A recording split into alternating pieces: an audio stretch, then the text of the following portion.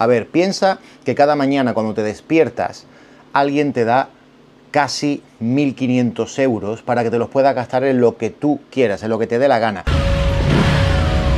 Hay muchas veces que nos aburrimos de la vida cotidiana, de hacer lo mismo todos los días, y yo te digo la verdad, me niego.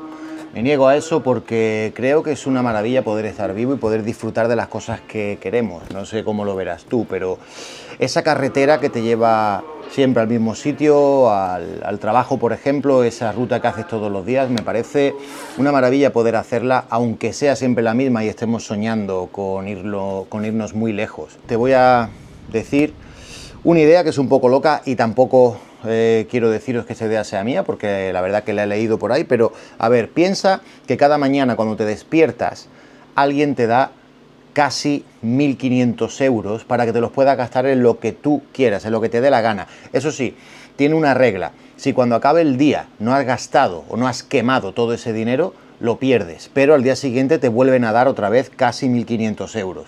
Sería la hostia, ¿verdad? Muchos estaríamos pensando, joder, qué maravilla. Pues bien, resulta que cada mañana cuando te levantas tienes el regalo de 1440 minutos para gastarlos en lo que tú quieras. Va a haber cosas que vas a tener que hacer, quieras o no quieras, y lo vas a tener que gastar de esa forma, pero eh, también va a haber muchos de esos minutos que a lo mejor los estás quemando de una manera o de otra y que podrías estar disfrutándolos. Cuando termina el día, esos minutos ya no vuelven. Al día siguiente, si tenemos la suerte de seguir vivos, volvemos a tener otra vez esos 1440 minutos. Entonces, la cosa es clara. Hoy mismo tienes ese regalo y ¿qué vas a hacer con ellos? Para mí, una cosa está clara.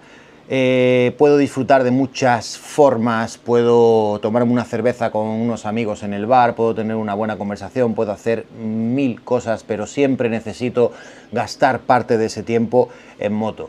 ¿Cuántos minutos has gastado hoy subido a tu moto?